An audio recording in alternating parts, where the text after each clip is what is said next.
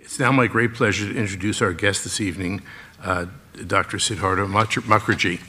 Uh, Dr. Mukherjee won the 2011 Pulitzer Prize for Nonfiction for The Emperor of All Maladies, a meticulously researched and panoramic history of humankind's fight against cancer. It was named to numerous media outlets' best of year lists and was adapted by Ken Burns into a PBS documentary. Dr. Mukherjee is also the author of a number one New York Times bestseller, The Gene, An Intimate History. After, after completing secondary school in India, uh, he earned his undergraduate degree in biology at Stanford and then attended Oxford University as a Rhodes Scholar, after which he attended Harvard Medical School. Currently, Dr. Mukherjee is Associate Professor of Medicine at Columbia University, uh, a cancer physician at the New York Presbyterian Hospital, and a researcher whose laboratory focuses on discovering new cancer drugs. His articles and commentary have been published in such places as Nature, New England Journal of Medicine, the New York Times, the New Republic. Uh, in, his, in, uh, in his new book, The Song of the Cell, Dr. Mukherjee tells the story of how scientists discovered cells, began to understand them, and now we're using that knowledge to create new humans. Uh, filled with writing so vivid, lucid, and suspenseful that complex science becomes thrilling. This, the Song of the Cell is laced with Dr. Mukherjee's own experience as a researcher, a physician, and a prolific reader. Joining Dr. Mukherjee on stage tonight is a Philadelphia superstar, Dr. Carl June. Dr. June is the Richard W. Vague Professor of Immunology, excuse me, of Immunotherapy in the Department of Pathology and Laboratory Medicine at the University of Pennsylvania Perelman School of Music. Music. Perelman School of Medicine. Uh, I was going there pretty well, but okay. Where, where he, where he is also uh, the director of the Center for Cellular Immunotherapies uh, and um, involved with the Parker Institute for Cancer Immunotherapy. He is acclaimed for his research in treatment of leukemia. Dr. June pioneered CAR T therapy, the first FDA approved personalized cellular therapy. He's published more than 500 medical papers and has received numerous awards and honors. Uh, I picked a few that were, I thought were the, among the most interesting. He has the Distinguished Graduate Award from the U.S. Naval Academy. He has the Keio Medical Science Prize from, from Japan and the Breakthrough Prize in Life Sciences. Uh, I know we're all eager to hear what is sure to be an amazing discussion, so please join me in welcoming uh, Siddhartha Mukherjee and Carl June to the stage. Hi, Carl. Well, hello, and uh, welcome everyone.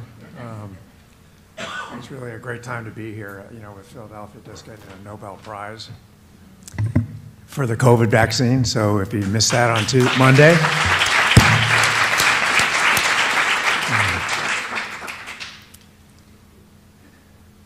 So, you know, Sid, I've been wondering, you know, the main you know, your book, you know, The Song of the Cell here is such an amazing story, and I hope you all read it because it puts in a layman's way how you can understand, for instance, the mystery of how all of us start with one cell, but how a kangaroo starts with one cell, and yet how are we so different? You know, and it takes it through that, and then how can that lead into cancer and other diseases? So I think it's, it makes it, it and understanding the history of how it happened because there's so many improbable things that said, you know, and you know, and, and talks about in that that I think um, it just makes it in a way that you just it's so delicious to read. So thanks for coming down. Oh, my pleasure. And thank you, Carl and I have known each other. You're even in the book. Uh, you, you, you have you have a cameo appearance. Yeah. So you know, I think, you know, understanding a cell and what can go wrong is really important. Um, I wonder what you learned most while you were doing that, you know, overview. So, um, what's interesting about it is that um, I think that there were um, sort of three very broad threads that bring this book together. Um, the first thread um, actually is the fact that we know very, we knew, or I knew, very little about um, this whole story. Um, it's another, I think, uh, to some extent, like my first book and my second book. Um, it's, it's, it was sort of, to, even to me, an untold story.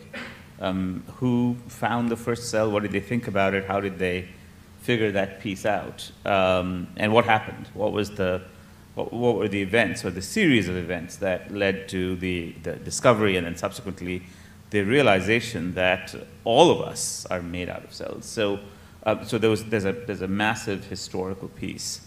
Um, second, um, there was a um, scientific piece. And the scientific piece is uh, how does all of this work? Um, how does a single cell develop into a full fledged organism? Um, how does any of this um, manifest itself in normalcy? And um, what is the what is the nature? How are we built out of all of this? Um, that's a, an, an, amazing story. And how do we figure all of that out, starting from the uh, interior anatomy of the cell, the structural anatomy of the cell, to the physiology of the cell. Um, and then the third piece, which of course you're um, very much a part of and very much involved in, and Philadelphia is very much a part of is, um, you know, what happens when things go abnormally um, and how to treat them. Um, and uh, obviously, uh, I wanted to congratulate you also on, on the Breakthrough Prize, but um, that prize is, of course, given because um, it was no fewer than, I don't know, a few miles from here, maybe less than a few miles from hmm. here, where um, uh, the first uh, child with uh, leukemia was treated with uh, T cell, modified T cell therapies, of course, under, under your um, vision. And um, what's astonishing about it, which you know and I know, but maybe the rest of that, this audience doesn't know, was that this young girl, Emily Whitehead, whose picture you can um, see here, see here, I'll put it up in two seconds, um, was so uh, ill that she was basically given up for dead the first picture among the pictures. Um, that's uh, Emily. Um, so so sick that she was given up for dead, um, brought here in, in, in deep, deep physiological distress. Any, I don't know, many of you have had the misfortune or the, or the opportunity to see a, a, a patient with acute lymphoblastic leukemia in the sort of the, the deadliest stages of the disease. They are so sick um, that it's, um, it's almost as if everything fails all at once. It's a, the, the, the whole system is under collapse. Anyway, that was true, as you very well note for Emily. And um, with the T cells um, and with the other therapies that were appropriately given, and we can come back to that story in a second, um, she came alive and um, then remained alive and is alive. But the most interesting piece of all of this is that she is now a freshman, freshwoman, at the University of Pennsylvania. Um, so um, this human being would not exist on the planet. Um, and, you know, revolutions begin one human being, medical revolutions begin one human being at a time. Other revolutions also begin one human being at a time. But, uh, but it's, that it's important to recognize the role that, that you and others have played in this. And, really congratulate um, the whole ecosystem, of course, and then and congratulate Emily um, on her and on her journey, and maybe she'll go on to cure um, yet another disease. Maybe it, maybe it's paying it forward. Yeah, it's it's been quite a story with her, um, and you know what's it because she almost died. I mean, as Sid said, she was really sick. She had a fever of 106 degrees for three days after we treated her. And I mean, we had no idea why that was. And um, through pure serendipity, we found out that it was the CAR T cells attacking her own bone marrow and the leukemia. And then fighting back, that led to this horrendous fever that wasn't caused by an infection. That, that was a new finding in medicine that you could actually hyperactivate the immune system that way. And, and we now learned that that's, that's actually a good sign. It used to be you know, when you got really sick like that, that was bad. But it now means that that's a sign of response. And, you know, Sid and I grew up in medicine with, where high dose chemotherapy and radiation was what was given. And then when you got sick like that, it didn't mean you were getting better. It just meant it was toxic. So we had a whole new thing um, that we're involved in now, which is these new kinds of immunotherapies. That's called an on-target effect, when um, you know the treatment is actually causing side effects, but it's because you're getting better, and you know so completely different than chemotherapy, where it doesn't help. So that now, you know, we actually have to tell the patients about the difference between those, and um, they accept that. It's a lot harder to have your hair fall out and vomit from chemotherapy, and it's not helping to get better. So now, I mean, actually, I've seen patients start smiling when they get the fever. Um, so, and I want to tell you, you know, I think Sid could give you an update. He's made a whole new kind of therapy, but you know, the other main kind of leukemia, one is B cell leukemia, and that's that's what Emily had, but the other is called myeloid leukemia. And Sid has invented a really interesting new generation of therapy for that. And, and, maybe you could give us an update. Yeah, so um, uh, that's in my other life. Uh, uh but in my other life, actually, uh, uh, still think about medicine. Um, but the idea there was so um, with, with B cell leukemias, um, uh, which like the ones that Emily had, um, you get a little bit of an evolutionary trick. Um, and the evolutionary trick is, and very few people know this, it turns out that for reasons that we don't fully understand, we understand somewhat, you, human beings can live without B cells. Um, uh, we ha may have to give them medicines. B cells make antibodies or precursors that make antibodies.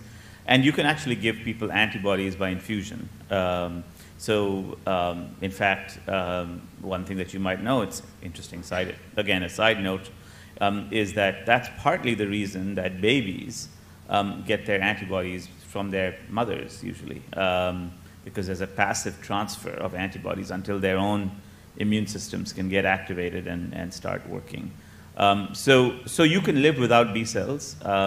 And that's a, that's a peculiarity, evolutionary peculiarity that human beings have.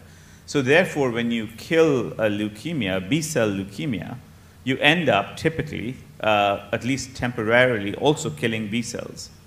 And that is, by a miraculous chance, compatible with life. Otherwise, someone like Emily you could never treat because you would kill her B-cell leukemia the malignant or cancerous B cells, but you'd also end up killing her normal B cells. And that would be, if, it, if that was incompatible with life, then she, we wouldn't be able to, she wouldn't be able to live. Now, the other kind of leukemia has uh, unfortunately bedeviled us for a very long time, and because it, it's not a B cell leukemia. It's a leukemia of a different part of the blood uh, called myeloid cells. So myeloid leukemias are deadly. Um, are, people often say, you know, how deadly you know, pancreatic cancer is and so forth.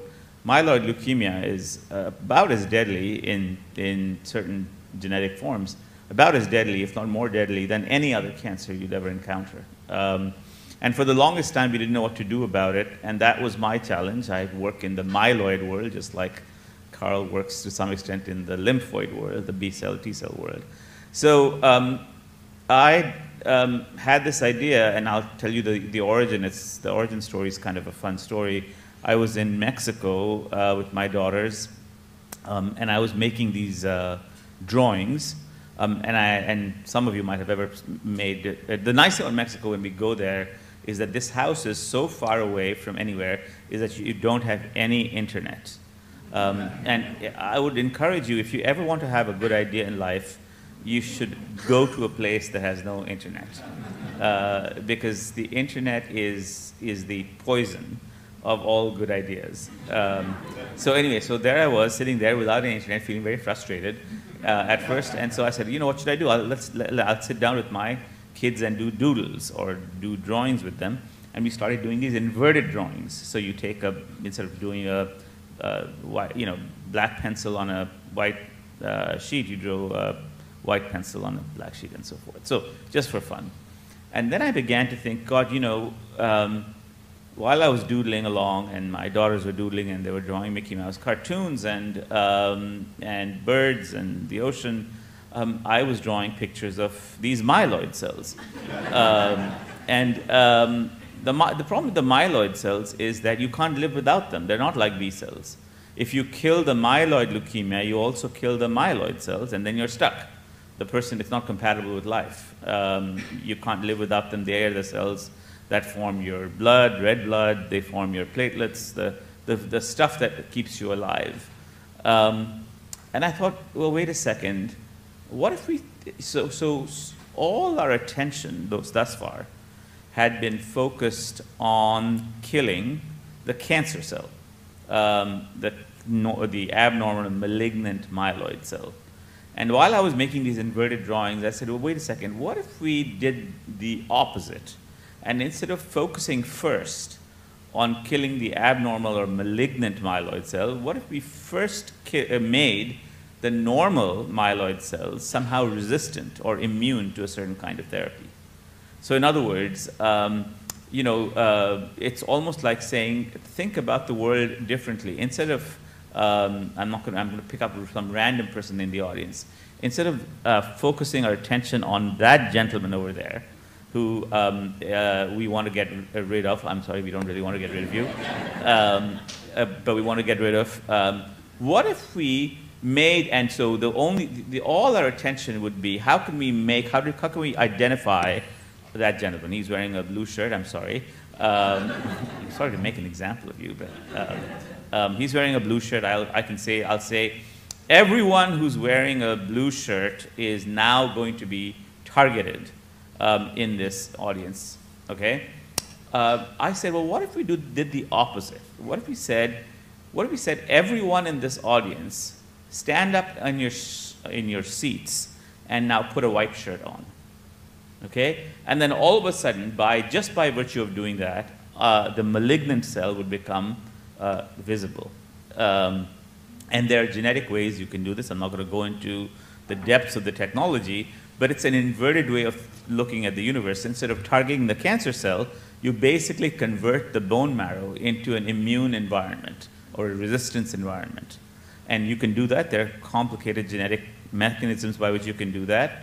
And once you do that, all of a sudden the cancer cell stands out like a sore thumb, or like this gentleman would, would uh, wearing his, I'm sorry again, but uh, wearing his blue shirt. Um, and so um, that's what we've been done, and we've done this now. It sounds crazy, uh, but we can do this in humans.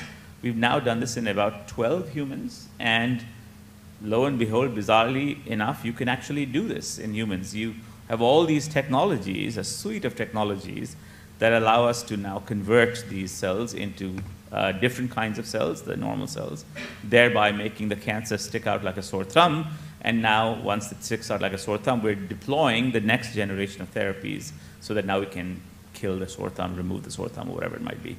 So that's a completely new direction, um, and I hope that trial is successful. And that's it, we, it, there's a there, there, are multiple iterations of it, um, and one iteration, of course, uses technology that Carl and his colleagues have developed, CAR Ts again, but this time directed not against B cells but against myeloid cells. So Sorry about the very long explanation, but I thought I would paint a vision of, of what happens when you don't have the internet. so um, we'll hope for a power outage.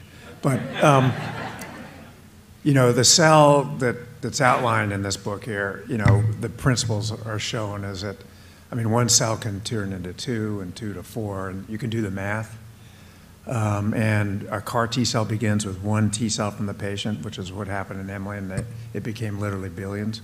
But the same thing happens when the cell goes rogue and becomes a cancer cell. One cell, two, and it becomes billions, and that's what, what we have as a battle. Um, and we'll come back to how that can happen. But I wanted to ask, you know, since Emily's been treated, there's now been about 20,000 people treated with CAR T cells, and um, the real problem has been the cost. Um, and it cost about, you know, $400,000 to, you know, from a commercial perspective to make CAR T cells now.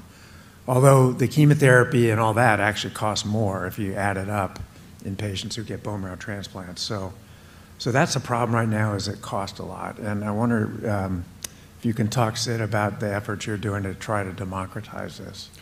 Yeah, so another effort, aside from the myeloid leukemia, another effort that I've launched is um, to make these T cells in India. Um, and when, you, when they're made in India, generally speaking, they're made for the rest of the world because um, India is the largest site for um, the manufacture of all generic medicines, typically inexpensive medicines. If you go to Mexico and you are on Herceptin, that Herceptin probably came from India. If you are in Venezuela or South Africa and you get some other medicine, if, again, um, uh, within affordability, that probably came from India. So I thought to myself, why don't we try to make uh, T cells um, in India, CAR T cells in India?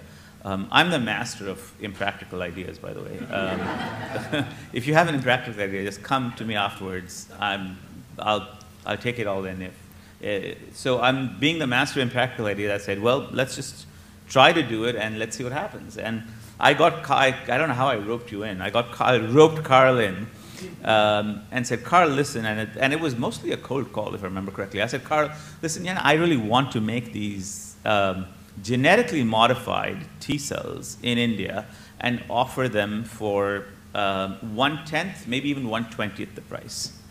Um, and everyone thought it was crazy. Um, and uh, I should tell you that that was four years ago, and just last month we treated our 25th patient, um, and very successfully. Yep. Um, and uh, we forced Carl to come maybe twice. Um, um, and we are now making the, the, the, the toughest, there will be very tough steps, by the way, here. Um, you have to create basically a vault, which you made here in, at Penn, uh, one of the best in its best in class, best in the world. Um, you have to create a vault where all of this is uh, manufactured, where one single droplet of an, infections, uh, of an infection will completely close down the facility. Um, and it has to be cleaned with a, basically with a toothbrush um, from beginning to end. So that's how clean that facility has to be. Um, and then, separate from making that vault um, uh, and training people to get into that vault and operate, and you know they have to wear suits and so forth. Separate from making that, um, you have to make the, um, the gene delivery system. So in other words, these, are, these T cells are weaponized. To kill cancer, they have to be weaponized. You have to give them the weapon. That weapon is delivered through gene therapy. And that gene therapy happens to be a virus, uh, a special kind of virus, not the kind of virus that will infect all people. These are viruses that have been um, purposefully inactivated in order to make them uh, inactive viruses. They can deliver a gene, but they can never go on and infect other cells. They can only go one way. Um, so, so you have to create a facility to make that virus. Um, and also last month in India, we made a facility to make the virus. So for the first time. Um, and so it was a, it was a, it was a double, um, double whammy. There were two trains that were coming at us Number one is how do we make the virus? The virus itself is very difficult to make. We've now achieved the virus. Um, and how do we make the cells in this vault-like facility? We've made the vault-like facility, and now putting those two pieces together, um, now we're, we're making the cells. We've treated 25 patients. The last piece of this, uh, in order to be fully democratized or fully uh, uh, accessible, is um, is to, to really um, uh, make it, you know, with systems which don't rely on very high consumable prices. Um, and so that, that's one, that's a third piece, that's the third train. Um, so we're now making those two. Um, yep. So um, one mad idea leads to another. So now I've gone to Bangalore and commissioned someone to make me all the tubing and the piping and the, you know, all the machinery that allows us to do this. Um, and, um, and as I said, we've treated 25 patients. And these are mostly young kids, and they, and this is an important word to use, they are cured. Um, so they're, and obviously, uh, inspired by Emily. There's a picture of Emily in, that, in the facility. Uh, we always think about her and your group. Um, and in fact, as we speak, someone from Penn is, is in, in, in, in India, in Bangalore. Bruce Levine, your colleague, is in, is in, in, is in India, sort of um, looking at our facility, giving us advice about how to move things along. But um, it was an incredibly generous thing for, for your city to spare um, uh, people so that they could make a difference around the world. And thank you for doing that. Well, thank you for doing it. So, I mean, I can tell you, we have about 5,000 cases a year of, you know, pediatric leukemia like Emily had, and I was told there were 60,000 a year in, uh, in India, and they just didn't get treated. So this is huge what Sid's done. Um, and it reminds me of what, you know, so they really, to do the kind of chemotherapy and therapy of uh, childhood leukemia that we did, you know, CAR T cells a one-time thing, one and done. You infuse it and it's over, uh, and you can go home. But um, for child, what we used to do took three years. Uh, so when a child was diagnosed, it was three years of chemotherapy, often radiation. So that's awful from the patient's perspective, childhood, growing up, et cetera, but also you can't do that in India. The logistics just didn't happen. So those 60,000 kids mostly died, whereas in the US, most of them lived. It just, it was horrible side effects. So this is doing them, basically it's like what happened in Africa where advances in technology, they never had landline phones in stringing telephone, they went straight to cell phones. And that's what Sid's making happen, uh, you know, there in India and hopefully in the rest of other. Yeah, I should tell you, our roster for, um, we have a, uh, I mean, as you, you know, we have to go through trials like any other. It's very regulated. Um, as I said, there's almost a, there's a, an internal monthly inspection, so an internal monthly audit, but there's also random audits that are made for a cell therapy facility. We're talking about cells, so cell therapy facility. And um, uh, the, we also have separately a, an open line uh, which allows you from anywhere outside the United States to call in and ask for potential treatment. And if this is now, we've extended, actually this week, we will begin our trial for multiple myeloma, uh, another deadly cancer. Um, this is an adult cancer. Um, but so we have now lymphoma, myeloma, and leukemia covered. Um, and then now we're beginning some gene therapy studies, all of which can then be done in that cell therapy unit. But um, we put a human being at the end of a line to pick up the phone if you um, were um, asking uh, to be treated uh, and to be put in a, a, a list for the trial. Um, the person eh, gave up after one day.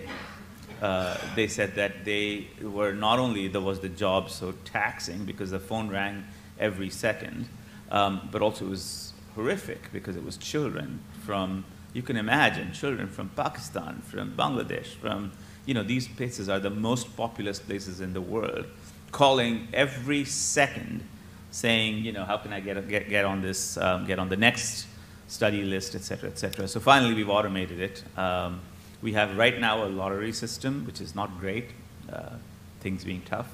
Um, but eventually, hopefully, you know, we will, um, at some point of time, um, we want to return the favor that your city and um, your unit has uh, given to the world. We want to return the favor because, like you said, when you start off with, sometimes when you start off with bad, bad technology and you get really new good technology, you can go over, oops, sorry, uh, you can go over um, and, you know, we could, at some point of time, I, in my imagination, I could think of a, of a time in which we would say, why, why give kids three years of chemo um, that will cause growth stunting and cognitive retardation and you know PTSD and psychiatric problems for three full years. Imagine being strung up to the hospital. Why give when you can give two shots, maybe one shot, um, and be done?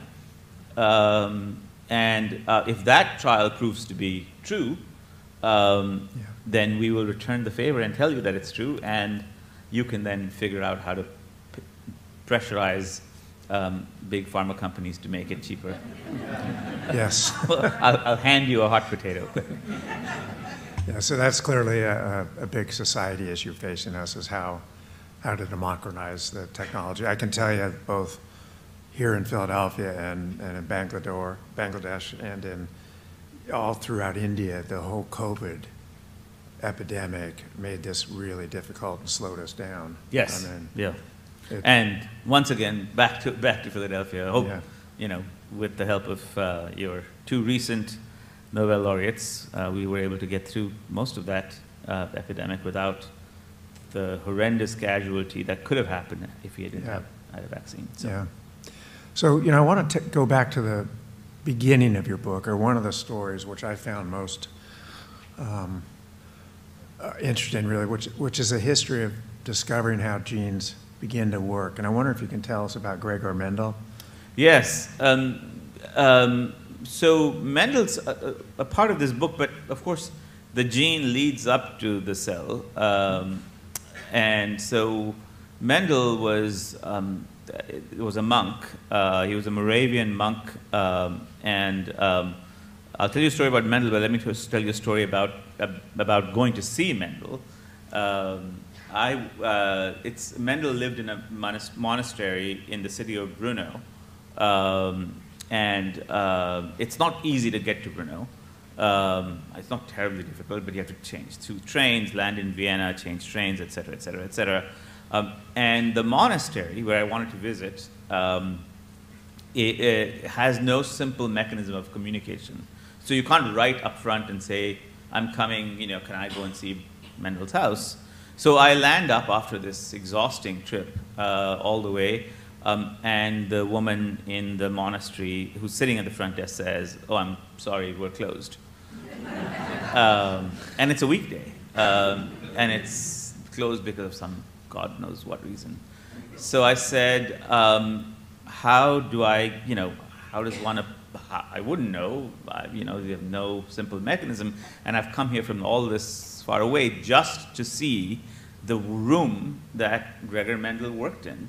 Um, and she said, Well, you have to present um, an application in triplicate. So I said, Now that I'm from India, I can solve that problem. I said, I, I hereby present an application in triplicate. And she looked at me, she said, um, Okay. So I filled out three forms identically uh, with my name. I filled them out in front of her while she watched very angrily. Um, and then I presented her with three forms and I said, Here's the application in triplicate. And she was very annoyed, and then she let me in. Um, anyway, so that's how I got into Gregor Mendel's room. Now, Gregor Mendel was a monk. Um, and what Mendel discovered was very interesting. What Mendel discovered was that, and he had no idea, he was breeding peas. Um, and uh, what he discovered was that over time, um, when he counted uh, all these seven different uh, uh, characteristics of peas, uh, traits, um, he found that they um, would travel across generations as if they were intact. So before Mendel, the most logical thing to believe, and sounds more, much more reasonable, um, was that the way that we inherit characteristics from our parents is that the characteristics get put into some kind of biological blender, um, and they get blended around, um, and thereby, and you get some mixture um, of traits from one parent and the other. Um, what Mendel discovered is that that's not true, um, that there is no such blender, that in fact the traits themselves are coded. He didn't know any of this word. He didn't know code, he didn't, he didn't know. But what he discovered was that the traits move across generations intact. Um, and that led to the idea many years later, he didn't even coin the word, but years and years later, um, about 45 years later, so for 45 years, basically no one read Mendel's paper. Um, so if you've ever written a paper that no one's ever read, um, you can rest assured that maybe in 45 years someone's actually gonna, might read it and, and be inspired. But anyway, uh, so no one read Mendel's paper, but about 40 odd years later, people suddenly began to realize that that's how the, the, the inheritance patterns are uh, work. And it took yet another 40 to 50 odd years before um, scientists figured out that it was DNA that carried that message. And yet another, you know, several years, decades, to figure out how it carried the message and ultimately how that message gets transmitted to your offspring. Now, just to bring up the story fully, um, the cell has a parallel history. So, um, for the longest time, people thought that you know we were made up, we were slabs of meat, um, and it was continuous, um, and that you know flesh generated flesh. No one knew exactly how, but flesh generated flesh. One very common theory was a theory called the homunculus that you know human beings were born fully formed and then we sort of got blown up like a balloon gets blown up um, over time. Um, but cell theory is very analogous in some ways that all of a sudden you realize that that the world in the case of inheritance is the word used in this book is atomistic in the sense it's all divided up. It's not one single spool. It's all divided up, and it's in the case of genes, genes uh, divided up. Um, and similarly, in the, in the cellular world, you realize that we aren't slabs of meat. Um, we aren't slabs of flesh. It's not continuous. It comes from one cell, one cell becomes two cells, et cetera, et cetera. And if you were to look down a microscope in, through the human body, then of course you'd realize that we were not made up of con continuous slabs of meat, but in fact we're made up of individual cells. Um, your skin has uh, billions of individual cells. Your brain has billions of individual cells, and so forth. So, so, um, so there's a there's a there's a there's a kind of a deep analogy, I would say, between these ideas, um, and um, and it leads to a set of I think very interesting philosophical questions, which is why is it that matter is organized atomistically, atoms, um, cells, bodies are organized atomist, atomistically, Information is organized atomistically um, in genes. Information for the computer is uh, organized atomistically in bits and bytes. Um, and you know what, what, the advantages of that system are. So um, it's a very interesting philosophical question that, that why these atomistic ideas um, become so powerful. One obvious answer is that you can you can build with building blocks uh, much more easily than you can build without building blocks. It's much more difficult to take, as I said, a whole homunculus and blow it up. But maybe there's some other reason that we don't fully understand yet. Um, I'm reminded of this um, important moment because it's a philosophically important moment, because in the world of computers, um, we are beginning to build, um, although we haven't succeeded yet, but we're beginning to build non atomistic computers. So people have heard about quantum computing a little bit. So quantum computing, uh, or quantum computing in general, uh, does not rely on bits and bytes. Uh, it, it relies on other systems. I'm not going to go into all the details. Um, in the world of cells, it'd be an interesting philosophical question, and in the world of genes, it'd be an interesting philosophical question to figure out how we could move away from these atomistic ideas um, into something more probabilistic and less atomistic, and, and what that would do. But um, I'll leave that kind of as an open ended. I don't know the answer, but I, I love these kinds of um, puzzles because what would be what would we start looking like if we started having, let's say, some kind of hybrid cell? Um, we've actually started making some. Uh, we've made a, a completely new a neo cell um, a cell that's never been found, it's not, not found in nature. You, uh, you and I have discussed this before. Um, in fact, we put them into human beings um, uh, to treat cancer, but and um, and so far they've lived. They live as neo cells, neo completely neo cells. Of course, a CAR T cell is a somewhat of a completely yeah. neo cell. So. You know, I think we have time just for one more question, and then we're going to have, uh, you know, uh, time for audience question and answer. So. Um, you know, I wonder if you might talk about, you know, this, the new aspect now of cells of, of um, you know, we, when I was in medical school and would said, you know, we were taught cells. Not at the same time. Yeah, but close. But anyway, but that cells progressively differentiate and they age, and that you can't reverse time. Um, and there's been a revolution now where uh, of now making stem cells out of mature cells.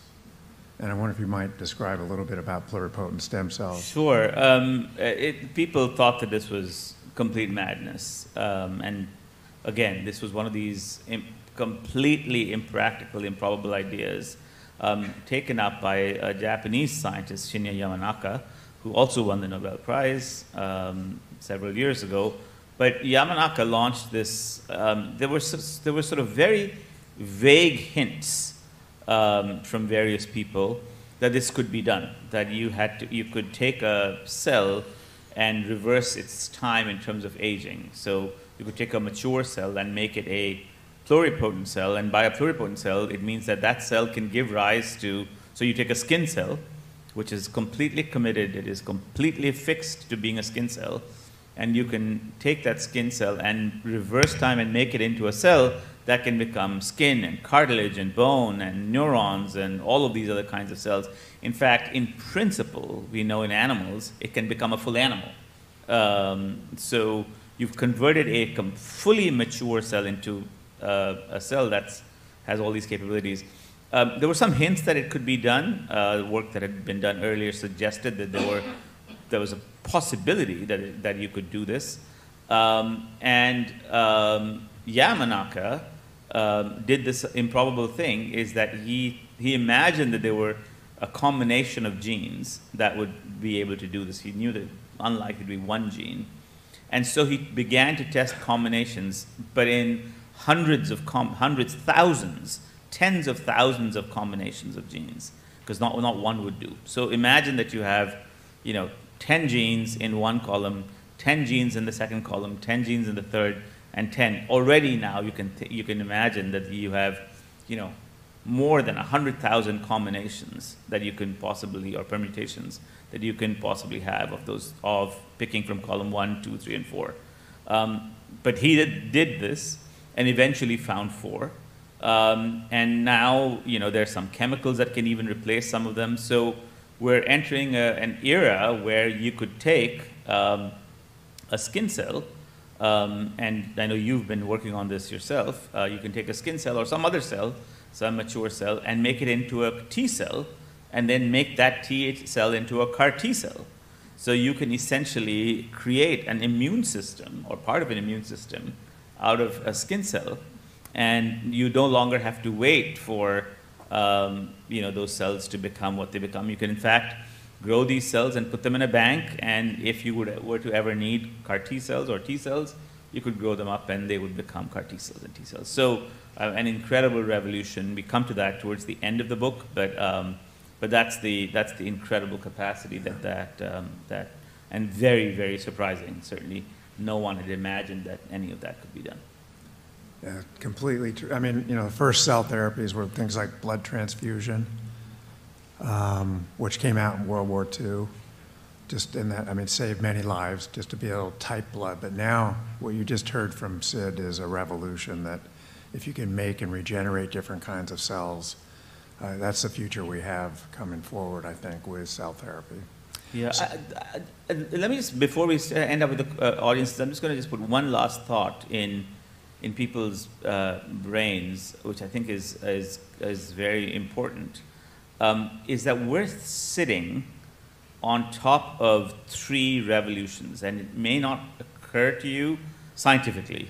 It may not occur to you, but these are generational changing revolutions, and we're seeing them right now you know the problem is when you look at things so close up they don't seem as if they're so such a big change. Um, number one is artificial intelligence. Um, uh, the the stuff that you see about artificial intelligence you know the kind of ChatGPT stuff that's just nothing. That's tiddlywinks compared to the the real depth of things you can do. Make new kinds of medicines make new kinds of materials make new kinds of various things. Um, we can talk about the problems, um, uh, which the existential threats that that causes as well. Happy to answer that question. Number two is um, a cellular revolution. So we're now making new kinds of cells. We can bank them. Um, we can, uh, via the cellular revolution, we can make we can basically absorb the benefits of the genetic revolution. So they're sort of two things combining together. So to, give one example, IVF is an example of, of the cellular revolution. So close by that we don't think of it that way, but of course it is. It's a it's a cellular product. Uh, human beings are cellular products. And the third one, of course, is we're sort of in the middle of is the information revolution. So um, what's most interesting, and I'll leave this as a last sort of thought question, is when these three things come together. Um, and the, both the benefits and the existential threats that that can bring. And I think that is an interesting note to end on because, you know, you can go home and stay awake all night thinking about, about what will happen when these three things come together. Well, thank you very much. Thank you, Sid. I just want to thank both of you for your contributions as well as coming out here tonight. Thank you so much. Um, the question I have for you guys is uh, relative to the last topic that you were talking about, about um, cells. Um, I, I've, i think everybody has heard about the Henrietta Lacks cells. Um, and you were talking about age, the cells age. Uh, but hers don't seem to. Is there, does, is there some type of uh, explanation for that? Well, cancer cells, well, the, hers are cancer cells. So they were, they were cells taken from um, Henrietta Lacks um, uh, cancer. Cancer cells seem to defy the standard processes of aging. Even cancer cells age, um, and cancer cells die.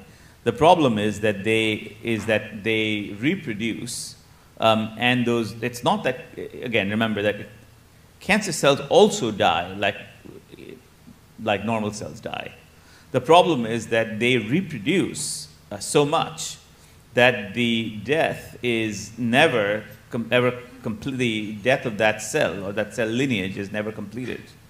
So they keep reproducing and reproducing. A normal cell will have a finite number of reproductions before it becomes tired and says, "I'm done. I'm becoming a um, you know, I'm either dying or I'm going to become a mature cell and sit tight, for instance, in your brain for a long time period of time.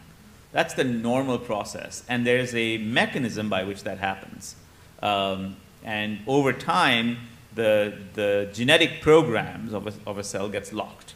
And more and more locked and more and more locked, ultimately leading to a, a normal cell becoming either dead or uh, becoming a mature cell and sitting tight. In cancer, that does not happen, and that's what doesn't happen in Henrietta Lacks cells. So people often say cancer cells are immortal. They're not immortal in the sense that they, in the sense that you might understand it colloquially. They also die. The problem is that they don't have a program to stop reproducing. Um, so that's the fundamental difference. It's not cell death, although there's some cancers that involve cell death, a few, but it's not the question of cell death, it's a lack of cell death. Cancer cells die very much. The problem with cancer cells is, is the, the capacity to not be able to stop reproducing and not be able to reach that state in which they get locked and say, I'm done. Yeah, the, um, to just say a little bit more about that, um, uh, normal cells have a clock in them, and they count every time they divide. And actually, DNA shortens. The end of the DNA, the tails, is one way of knowing how many times a cell's divided. And, and that's been worked out in human terms to really last us a lifespan, but not, we couldn't go and have another one of us be cloned without lengthening your DNA, the ends of that again. And Leonard Hayflick here in, in Philadelphia described that, called the Hayflick phenomenon, that you can only divide so many times unless you get immortalized. And that's what happened to Henrietta Lacks cancer cells. They could always reproduce. You're talking about neocells. Um, what is a neocell exactly? I mean, how, how is it different from, you know, the cells in your body? It's, you said it's made in a lab. Um, yes. And okay, so so why did you do it? What's the function, and does it does it work? Does it work like your, your, all your cells, it divides, it has the same chemistry, it has the same cell bodies and, you know, yes. mechanisms and whatnot? So um, there, are many, there are many different ways you can approach making a neocell. Um, I, am we're using them, uh, we're using a very primitive, uh, or I would say the first generation of them. So what we're creating is we're taking cells and making them have hybrid properties. And why did we do that? We did that because for solid tumors, um, these uh, can, lung cancer, breast cancer, etc., these CAR T cells, which seem so effective in blood cancers, don't seem to work very well in solid cancers. Um, and we really fully don't understand why. Carl's described a few of the phenomenon why, but uh, we don't fully understand exactly why. One of the most horrific images that I've ever seen, and uh, Carl's published on this, is you take a solid tumor in an animal model or even in a human, and you take CAR T cells, and you'll see the T cells form a ring around the, the solid tumor, but they can't get in. And whether that's, uh, we know some, some reasons why, it's a physical barrier, it's a chemical barrier, there, there, are, there are active factors that the tumor is secreting to prevent T cells from getting in, but that's what the problem is. So, but there is another cell uh, that actually gets in very well, um, and it's a myeloid cell. We back to our, my favorite myeloid cell. Uh, these are cells that are professionals. Their, their, their job is to scout. Um, so right now in your body, these cells are scouting around, um, looking for um, looking for pathogens and making sure that they don't that you don't have pathogens, and they can get into tumors very well. Um, so the reason we made them, we said, well, what if we take a myeloid cell and we, we convert it into, uh, and give it the apparatus of a T cell. So we mix, we create a hybrid cell, which is ha half a myeloid cell and then half a T cell, so that it would go into a tumor and then kill like a T cell will kill. So that was the reason behind this, as we've treated some patients and we're waiting for some data to figure out whether it works or doesn't work, but at least it gets in and, and stays. But that's just the primitive, as I said, that's step one. Um, you can do much more complicated things. There are people who are working on synthetic biology much more deeply than this. Uh, this would be one example of synthetic biology.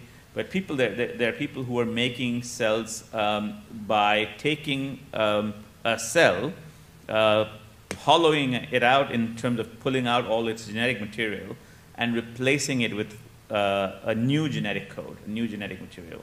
That is also a new cell. What we haven't been able to do so far, and by the way, that cell reproduces, reproduces its genetic material and behaves like a normal cell. What we haven't been able to do so far, which would be wonderful to do at some point of time because it would give us enormous power, is to build a complete cell from scratch. That we have not been able to do. That would involve building each of the organelles, the anatomy, the parts of a cellular anatomy from scratch. I suspect we'll be able to do it at some point of time. Um, but it would involve building mitochondria from scratch. It would involve building the, you know, the various cell parts of the cell body, the nucleus from scratch, et cetera, et cetera. That we have not been able to do. No one's been able to do. So.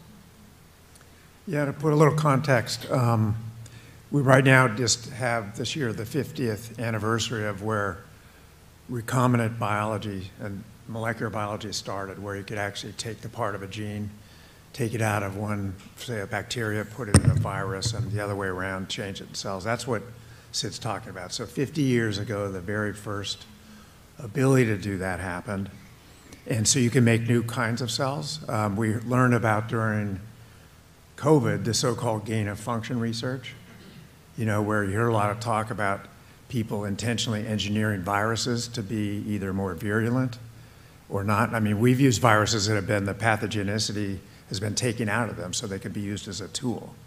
But you can have a form of biologic warfare where you use the same technology to make you know, worse agents, either viruses or bacteria. So there's an issue here on uh, ethics um, and how you control science this way, you know, which is something that we need to have harmonization on between uh, different countries. And, and that, that has evolved now because these tools have become literally sometimes high school students can do this in their garage.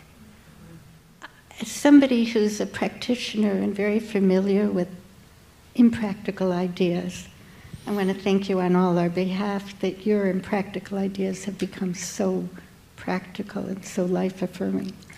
And I have a question that has nothing to do with cells. I was an English major.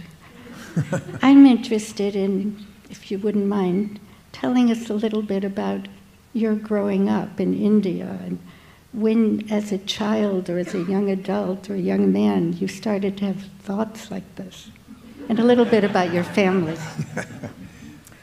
um, so I, I grew up uh, in India and I, I, I, came quite quickly to um, uh, uh, university at, uh, at, at Stanford.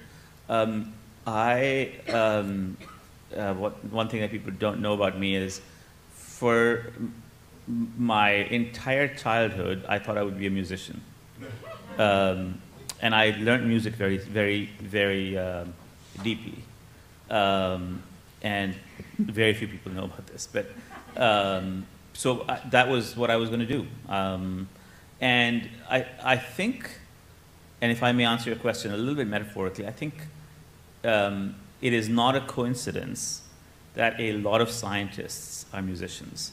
Um, and in general, it's not a coincidence that a lot of mathematicians, a lot of biologists, a lot of actually the, a, a, a vast number of creative people, if they don't know music, they'll at least understand why music is important.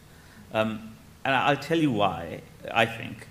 Um, because it allows you, and it asks you, music allows you or asks you to make something out of nothing. Um, so you take sound, which you and I are making right now, and all of a sudden you're asked to say, take that sound and make something completely different out of it. Um, and especially uh, if you're interested in jazz or composition too, it doesn't matter. You're asked to make something completely different out of something, something else. So I, a lot of what I do, and again, I don't speak very publicly about it, but a lot of what I do, I think, goes back to that, I, that idea. So I went to Stanford, and the first thing I discovered is I went and started working. I was, you know, I was interested in music still, but I thought, you know, let me, I'll sort of vaguely interested in biology. I was good at science. Um, and so I went to work for Paul Berg uh, at, at Paul Berg's lab. And Paul Berg happened to be the person who had in, invented recombinant DNA. So, so this was what you could do. You can still do. You can go to Penn and say, I'm going to go work for Carl June. Sorry, I'm just recruiting people to your laboratory. Thank but anyway, um, so you can do things like this. Um, and so I went to work for Paul's lab, at Paul's lab, and I got two things out of this. Number one is I learned that just like in music, you can make something out of nothing, uh, or something out of something else. You can do that in science. Um, Paul, by the way, loved music, was very interested in music. And the second thing is that Paul, once he had made this, this incredible discovery, that you can take two pieces of genes and make a neogene, a completely new genetic material, he had organized uh, the, the most important ethics conference in the history of biology, called the Asilomar Conference.